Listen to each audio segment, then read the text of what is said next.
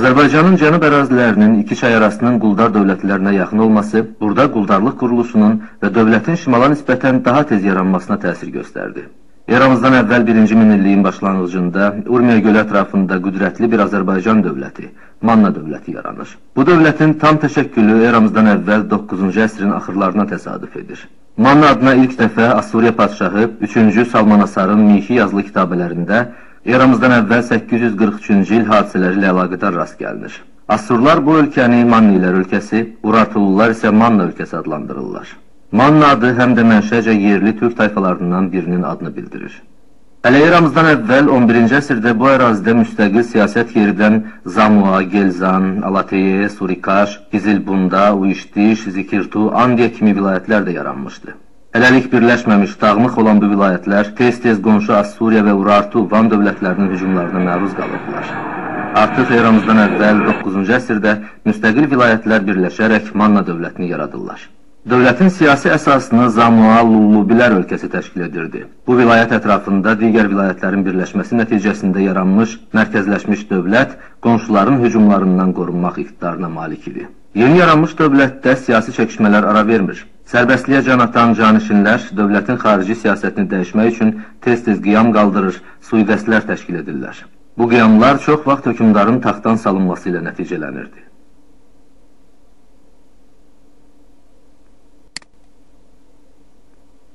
Ölkədə mərkəzi hakimiyyətin güclənməsi tərəfdarları da çoxalır. Bir çox əyanlar və əhali padşahın müstəqil xarici və daxili siyasət yeritməsini müdafiə edir, canişinlərin özbaşınalıqlarına son qoyulmasını istəyirdilər. Uzun çəkişmələrdən sonra müstəqil və güclü, vahid dövlətin yaranması tərəfdarları qalib gəlirlər. Onların nümayəndəsi olan İranzu padşah taxtına əyləşir. Qətiyyətli və uzaq görən İranzu canişinlərin müqavimətini qıraraq onları mərkəzi hakimiyyətə tabi edir. Onun zamanında özünün ən parlaq və çiçəklənmə dövrünü yaşayan Manna yaxın şərqin ən qüdrətli dövlətlərindən birinə çevrilir. İndi təcavüzkar Van Urartu dövlətinə qarşı mübarizə də asanlaşır. Bir zaman işğalçı yürüşlərə məruz qalan Manna hətta Van dövlətinə hücumlar da etməyə başlayır. Ağıllı padşah İranzu bu dövrdə ön Asiyada özünün yüksəliş dövrünü keçirən Assuriya ilə müttəfilik münasibətləri yaradır. Van padşahlığının barışmaz düşməni olan Assuriya ilə Mannanın mənafeyi uyğun gəlir. Bu mənafe uyğunluğu Assuriyanın Mannaya hücum etməsinin qarşısını almaqla bərabər onu Van padşahlığının təcavüzündən qorumağa vadar edir.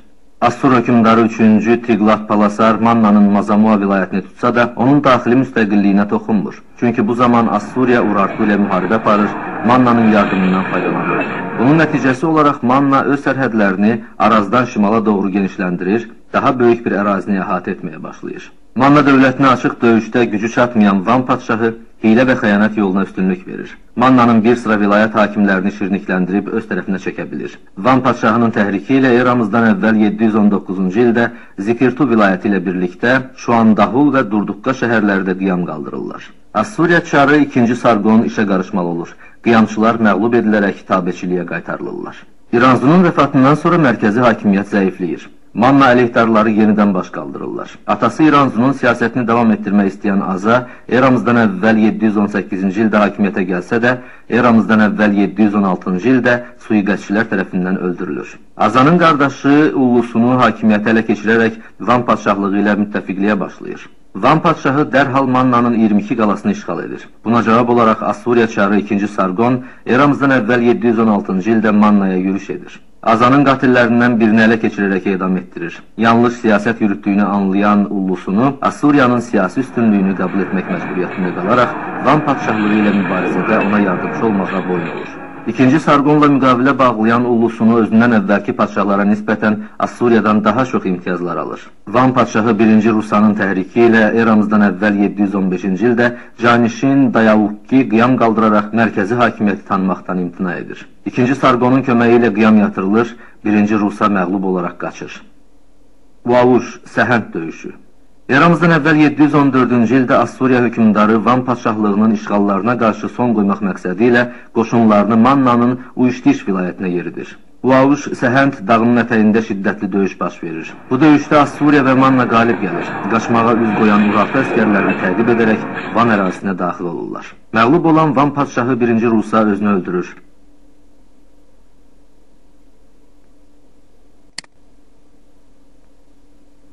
Mannada hakimiyyət irsi olub qeyri-məhdud xarakter daşıyırdı. Hökümdarlar adətən türk mənşəli şəxslər olurdu. Bunu hökümdarların adları da sübut edir. İlk vaxtlar padşahın hakimiyyəti bir qədər məhdud idi. Bu məhdudiyyət Ağsaqqallar Şurası tərəfindən gəlirdi. Hökümdar nəslinin nümayəndələri, adlı sanlı adamlar və vilayət canişinlərindən ibarət bu şura kifayət qədər nüfuza malik idi.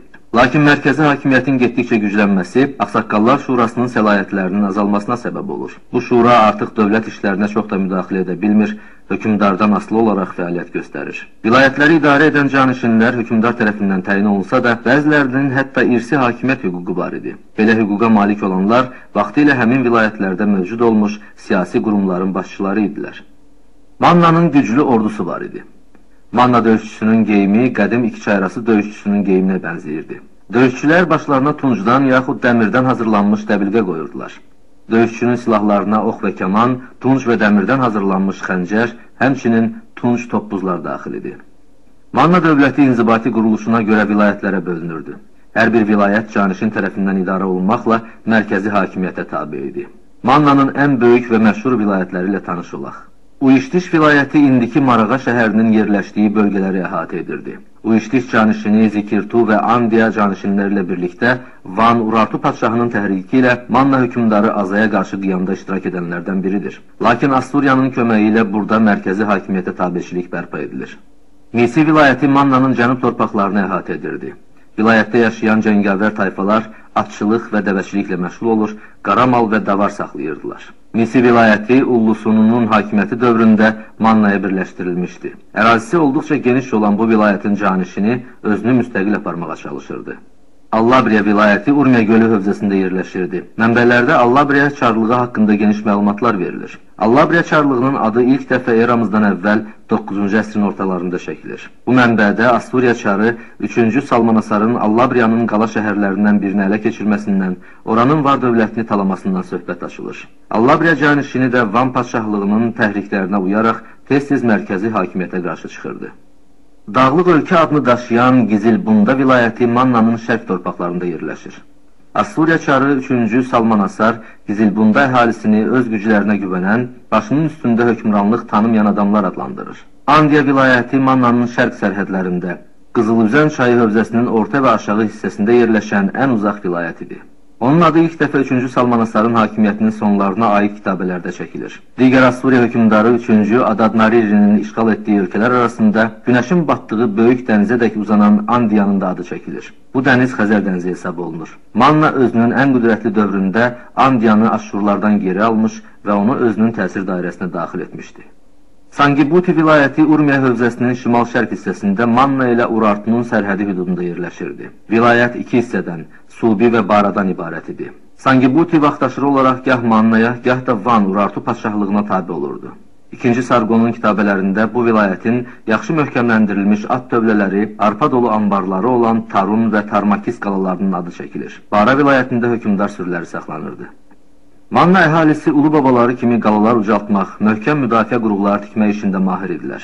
Bu qalalarda əhali demək olar ki, yaşamırdı. Onlarda müəyyən qədər qoşun saxlanılır, hücum və mühasirə təhlükəsi yarananda ətraf yerlərdəki malqara bura sürülürdü. Ətraf kəndlərin əhalisi də çox vaxt bu qalalara sığınırdı. Belə qalaların ən məşhurlarından biri Zibiya qalasıdır. Zibiya qalasının adı Assur mənbələrində çəkilir. Hündürlüyü 90 metr olan bu qala öz möhtəşəmliyi və alınmazlığı ilə hamını heyran qoyurdu. Həsənli şəhər qalası da müdafiə tipli qalalardandır. Qalanın ətrafına qabarıq bürcləri olan hasar çəkilmişdi. Həsənli qalası düşmən hücumlarına daha çox məruz qalmış qalalardan biridir. Mannanın paytaxtı olan İzirtu yaşayış məqsədi ilə salınmış qüdrətli şəhər qalalardan biridir. Olduqca böyük ərazini əhatə edən şəhər əlverişli mövqedə yerləşirdi. Bu qalaya yalnız Ziviyə və Armaid qalalarını dağıtdıqdan sonra yaxınlaşmaq olardı. Şəhərdə iç qala, saraylar, məbədlər və digər tikililər var idi. Onu bu möhtəşəmliyinə və gözəlliyinə görə Padşah şəhəri adlandırırlar. Mannadakı möhtəşəm qala şəhərlər burada yüksək mədəniyyətə malik cəmiyyətin yaşadığını sübut edir. Azərbaycanın cənub torpaqları yayda quruyan çayların və kiçik dağ irmaqlarının kəsib keçdiyi dağlıq ərazidən ibarətdir. Ölkəni İran yaylasından Zagros dağ silsiləsi ayırır. Şimalda yerləşən Talış dağları Xəzərdən gələn soyuq havanın, Zagros dağları isə yayda quru tropik havanın qarşısını kəsdiyindən əlverişli iqlim şəraiti formalaşır. Ölkənin mərkəzində Dumduru suyu ilə məşhur olan əhalinin müqəddəs saydığı Urmiya gölü yerləşir. Mənbəyini uca dağ ətəklərindəki buzlaqlardan götürən Acı çay, Cağatu və Tatay çayları Urmiya gölünə tökülür. Bu çayların münbit və məhsuldar vadiləri əhalinin sıx məskunlaşmasına imkan verir. Bu torpağın zəngin faydalı qazıntıları var. Zəncan ətrafındakı dəmir və mis, Qaradağda və Miyana yaxınlığında qurğuşun mədənləri və gümüş yataqları hələ lap qədimdən məlum idi. Zəncan, Afşar, Xoy və Astara bölgələrindəki qızıl yataqları bu əraziyə qonşu dövlətlərin diqqətini çəkir, bu torpaqları ələ keçirmək uğrunda qanlı mübarizələrə səbəb olurdu. Mannanın əlverişli təbii şəraiti, münbit və bərəkətli torpaqları təsərrüfatın inkişafına səbəb olan əsas amildir.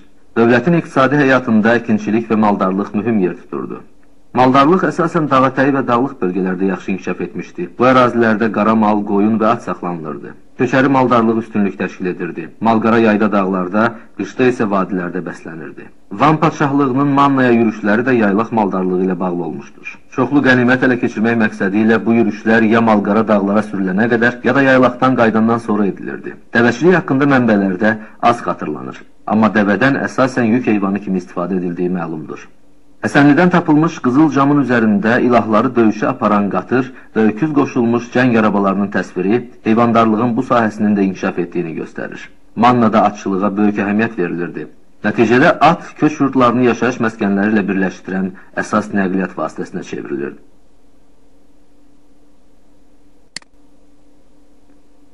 Mannanın zəngin maddi və mənəvi mədəniyyəti olmuşdur. Burada memarlıq sənəti inkişaf etmişdir. Bunu Mannadakı qala şəhərlər, onların müdafiə qurğuları, möhtəşəm saraylar sübut edir. Arxeoloji qazıntılar zamanı tapılmış əşyaların üzərindəki şəkil və naxışlar Manna təsviri sənətinin gözəl nümunələridir. Həsənli qızıl camının üzərində çox maraqlı əfsanəvi səhnələr təsvir olunmuşdur.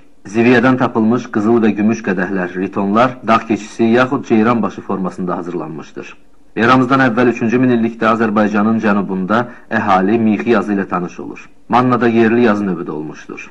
Ziviyədən tapılmış gümüş sini üzərində bir çox işarələr həkk edilmişdir. Bu təsvirlər heroqlif yazı növünə aiddir. Mannada əhalinin dili ən qədim türk dilidir. Bu da onu göstərir ki, Azərbaycan qədim türk yurdudur. Burada hələ eramızdan əvvəl 3-cü minillikdə yerli türk etnosları yaşamışlar. Manna hökümdarları ölkəni yadelli basqınlarından qorumaq üçün əlverişli xarici siyasət aparmış, Assuriya ilə dostluq və müttəfiqlik etmişdilər. Eramızdan əvvəl 7-ci əsrin 1-ci rübündə Qaradəniz sahillərindən hərəkət edərək Manna ərazisində məskən salmış Sak İskit tayfaları Assuriya sərhədləri üçün böyük təhlükə yaratmışdılar. Bundan istifadə edən Manna Assuriyanın tabeliyindən çıxaraq tam müstəqil dövlətə çevrildi. Bu hadisələrdən sonra Mannanın mövqeyi xeyli güclənir. İkinci Sarqonun varisləri dövründə bundan istifadə edən padşah Ahşeri Assuriyanın siyasi üstünlüyünü tanımaqdan imtina edir. Eramızdan əvvəl 675-650-ci illərdə hakimiyyətdə olmuş Ahşerinin bu siyasəti Mannaya baha başı gəlir. Mannanı öz təsiri altına almağa cəhd edən Assuriya padşahı Mannaya qoşun yeritmək əmrini verir. Ölkə dağıntılara məruz qalır. Ahşeri də məğlub olub yenidən tabeçiliyi qəbul etməyə məcbur olur. Öz mülklərini, torpaqlarını itirən torpaq sahibləri Ahşeriyə qarşı çıxıb üsyan edirlər. Ahşeri öldürülür. Onun yerini tutan oğlu Ualli Assuriya ilə ittifaqı bərpa edir. Eramızdan əvvəl 616-cı ildə Assuriya, Midiya və Babillə mübarizədə təklənəndə Manna qüvvələri ona köməyə gəlir. Eramızdan əvvəl 605-ci ildə Assuriyanın süquta uğraması, Midiyanın yüksəlişi Mannanın vəziyyətini ağırlaşdırır. Midiyanın aramsız hücumlarına tab gətirə bilməyən Manna, eramızdan əvvəl 590-cı ildə dağılır və ölkəmizdə müstəqil dövlətçiliyə yenidən son qoyulur.